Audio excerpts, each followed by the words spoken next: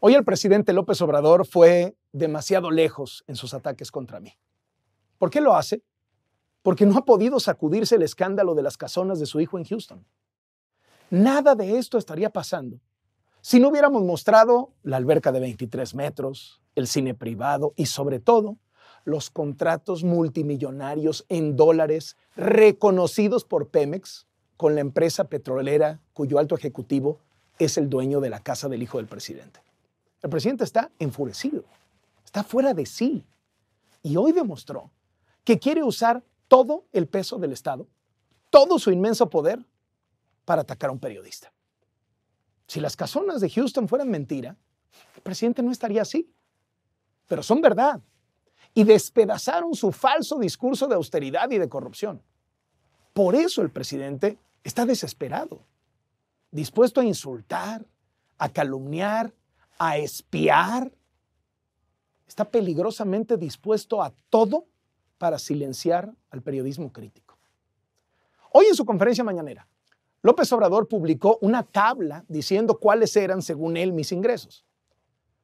Como él no puede explicar cuánto gana su hijo y quién pagó las casonas, pues entonces habla de mí.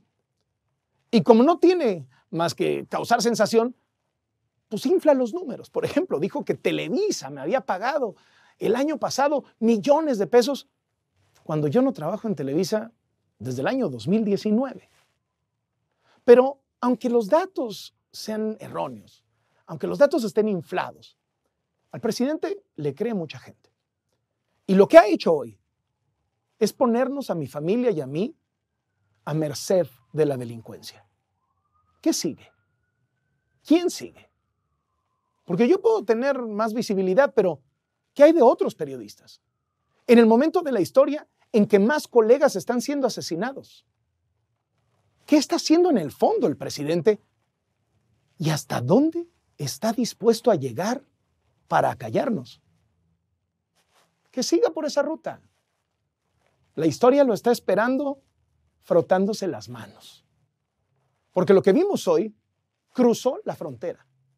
Sin empacho, este aspirante a dictador ordena a Hacienda que me revise, ahí delante de todos, frente a las cámaras, cometiendo varios delitos y violando varias leyes como si nada. ¿Y todo por qué? Porque no puede explicar la riqueza de su propio hijo. Quiere hablar de lo que yo gano trabajando para no confesar lo que gana su hijo sin trabajar. Yo he trabajado 20 años a la vista de todos, pagando mis impuestos. El que no puede explicar de qué vivió tanto tiempo es él, el presidente. El que no pagó impuestos fue él. El que no puede explicar cómo resulta que tiene un hijo millonario es él. Las casonas de Houston tienen al presidente fuera de sí. Nada de este ataque, que lleva dos semanas sin cesar, escalando en mi contra, nada estaría pasando si no hubiéramos revelado las casonas de Houston. O los videos de sus dos hermanos, Pío y Martinazo, recibiendo dinero en efectivo clandestinamente y diciendo que era para Andrés Manuel. O de su secretario particular y su oficial mayor haciendo lo mismo. O los contratos de la prima Felipa, las casas de Bartlett, las empresas fantasma de Santa Lucía, todos estos escándalos, por todos estos, el presidente busca intimidarme, quiere callarme, quiere que la gente no se entere. El presidente debe saber que a sus amenazas responderé con documentos, con imágenes, con denuncias de todo aquello que está podrido en su gobierno, en él y en los suyos que yo voy a seguir haciendo periodismo al costo que sea.